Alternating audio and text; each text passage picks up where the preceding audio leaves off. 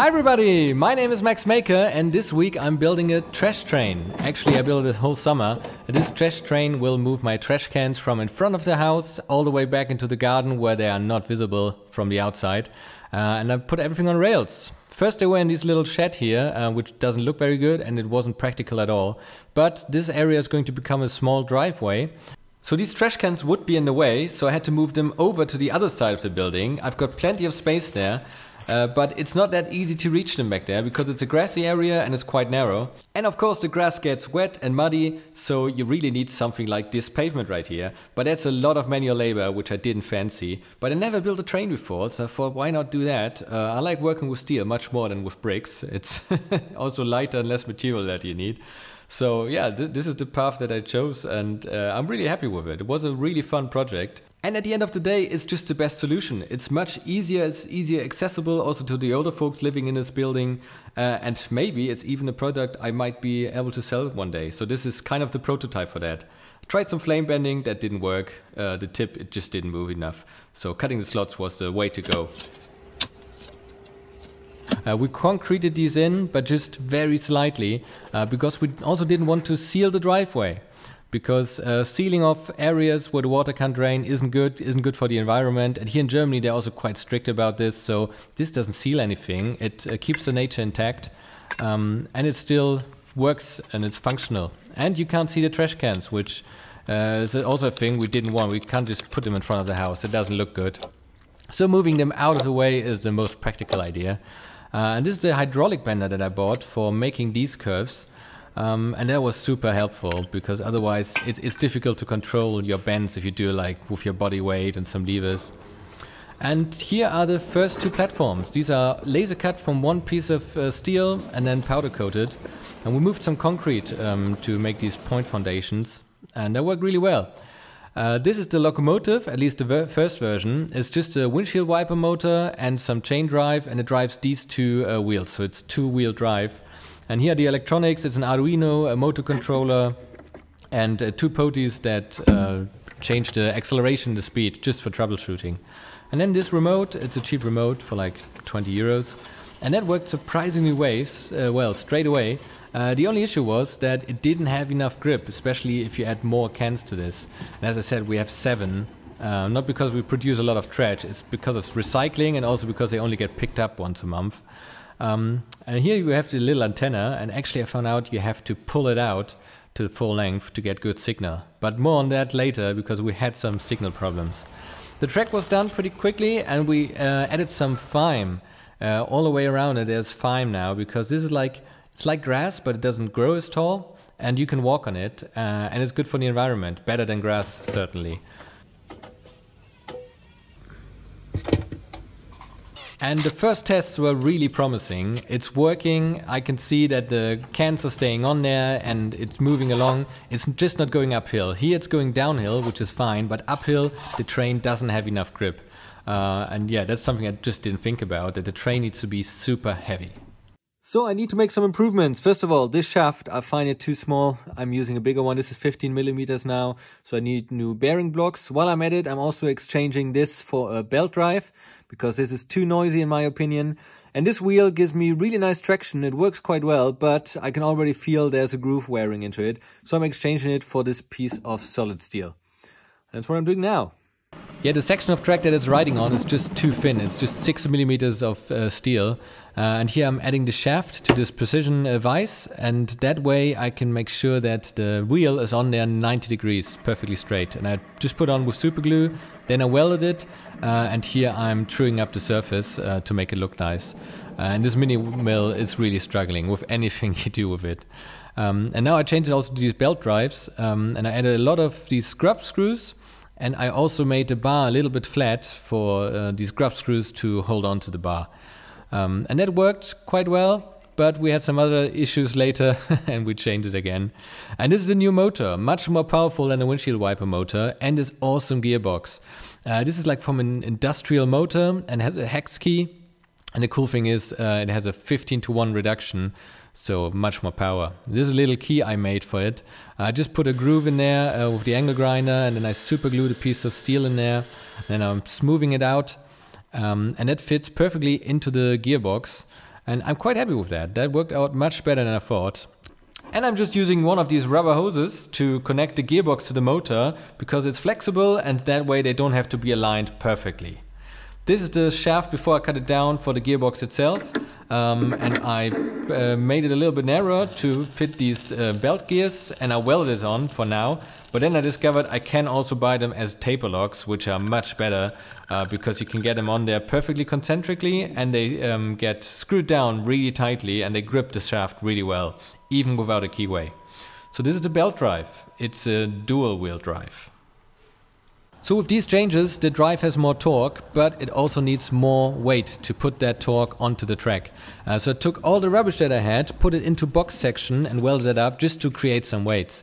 Uh, because especially when the train is wet, it has very, very little grip. Something that I never had with any other project before. I just didn't think about it. Uh, you need so much weight, and that's why these uh, trains weigh like 50 tons or something like that. So this is where we ended up, uh, and this is the point where we're going to change things up completely again. Everything that is black is just pure weight, so it's just a lot of steel that we bolted down everywhere. We've got a really nice big motor, got a nice gearbox. Uh, this is going really well. Um, the belt drive has enough, uh, yeah, uh, torque to, to twist everything and to turn these wheels. It's just one issue, these wheels, they don't have enough grip. I would need something like polyurethane wheels, but then the polyurethane on this really thin metal, um, they would just rub off and really break. You see here that um, black line, that's where the uh, rails are. So polyurethane is just too soft and this is yeah not enough grip. So what do we do? We need a rack and pinion gear. So this motor has to be flipped over 90 degrees. So um, then we can drive directly on the rack and pinion gear. So this is the third iteration of the train and now the motor is swinging on this arc and that will push the gear into the rack that will be welded to the track. And for that I cut this cutout um, so it has a path to travel and actually move into the track. And I will 3D print the gear and bolt it to this uh, pulley. Uh, these two set screws, they pull the inner part in and out uh, and that way it clamps around the shaft and it's a really good connection. Uh, and I couldn't get a gear with a taper lock, but I can get these pulleys everywhere in Germany. Steel gears are loud and expensive, so I 3D printed mine. It's uh, much cheaper, it's just 6 euros, uh, and I can play around with the gear sizes. Right, so this looks quite complicated, and it kind of is, but the old ultimate thing is that this thing right here pushes this gear down here towards this rail that will be underneath here. And I added this little thing, uh, it's one of these snappers, and I can pull this let me do it with both hands. Oh, with one hand. Oh, yeah. Now it's locked. So now we can put it on the rail without this being engaged. Otherwise, we can't get it on there. And once the rail is, uh, the cart is on the rail, we can pull this and it re-engages. Really simple. Still waiting for a belt right here and for a slightly longer shaft because this is not low enough at the moment. And while I'm waiting for the parts, I'm welding on the rack to the track uh, with my cool welder. Uh, and it's really easy, you know, welding stuff on is just so much faster than bolting anything. You don't have to measure a lot. You just put the stick welder in there and, and it will secure it somehow. Uh, I'm, I'm, not very good at it, but it, it's easy uh, and it's working. Uh, obviously, the train also needs some cover to keep all of this stuff from rusting too much. So I made this cover uh, or I had it made by a steel manufacturer. So that's the fourth iteration and the fourth test run, and the rack and pinion gear has so much traction, it's incredible. This works really well, and I think this is the way to go.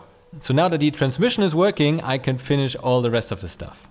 Uh, here on the inside, I put this butyl tape, uh, and that dampens the vibrations a lot. Uh, I'm using this on a lot of my projects. Whenever I use some steel panels like this,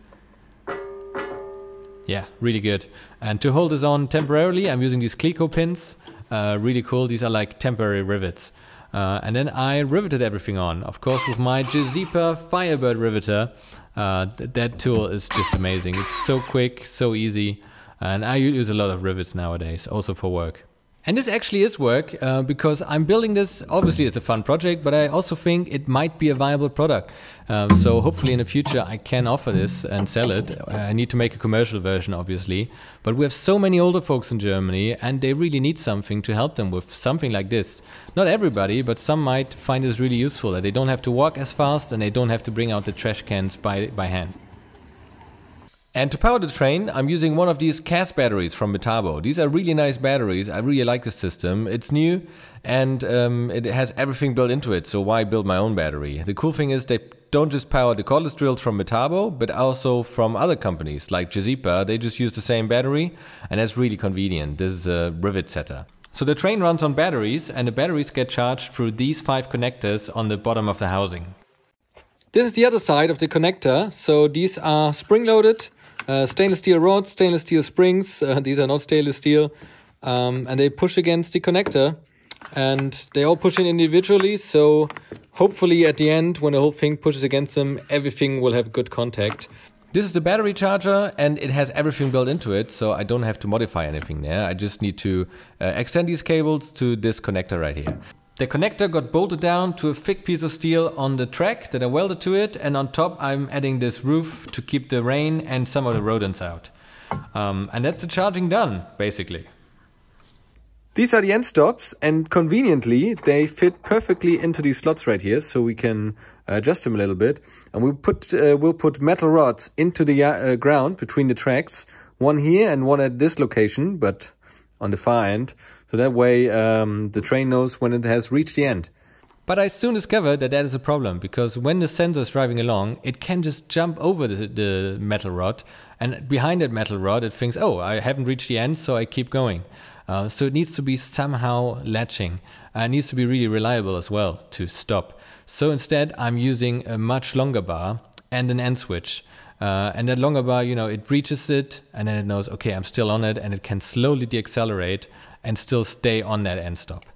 So I'm using these mechanical end stops instead because the inductive ones, they had a clearance of 2 millimeters. So more than 2 millimeters and it wouldn't register and less than 2 millimeters it would just crash into the end stop uh, rail. This is the end stop rail and has a little ramp at the beginning. I welded on two of these end stop rails. One is for slowing it down and the other one is an actual end stop. The train has some momentum if it's going at full speed, so you need to slow it down first over a longer distance, uh, and then it slowly has to keep moving forward until it actually uh, reaches the connectors at the end. So that's what the second end stop is for, or the actual end stop. And that is working really well. It's really a good thing that I had so much space left over underneath the track uh, to hide the gear and also the end stops. Uh, and now it's working really reliably. Um, it keeps going at quite a speed, then it slows down, and then at the end it really just creeps forward until it stops completely. The train wouldn't look correct without these lights at the front, and it's also good at night to see uh, if it actually has recognized the signal from the remote. I also had to play with these bearings here, these are the guide wheels, to keep it on the track. At first I had them made from steel, but now it's plastic and they're far less noisy. Um, also these hose clamps uh, that connect the motor to the gearbox, I had to exchange them for these uh, Clamp-Star clamps. Because the whole clamps, you can't just uh, put too much force on them, but here you can really cinch them down uh, and that way it never slips. Quite happy with how this power transmission works now. And after adding the enclosure, I didn't have any more signals, so I had to put on an external antenna, and that solved that issue. But now it's working really reliable.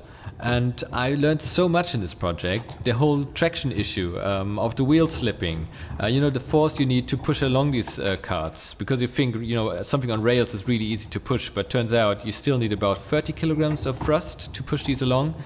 Uh, and that, I think, for me was uh, the best part of this, you know, learning all these new issues and how to solve them. I think that that will help me in a lot of projects in the future. Um, and it's also a very functional setup at the end of the day because you press the button, you walk outside, and a train just magically appears. You also can't see any of the tracks because it just looks like the border of the pavement here. And it's also working really well in the winter and I don't have to snow shovel this area because the train can just move over the snow. So the prototype was a complete success and is functional and hopefully I can build on this in the future to make a commercial version. And I want to thank the Way Out West channel He's from Ireland and he's building a whole train system on his property and he gave me the inspiration to build my own. Uh, the two setups are very different but they both serve the same goal of moving stuff about. So uh, I really like YouTube for that, that you can learn so much stuff from other people.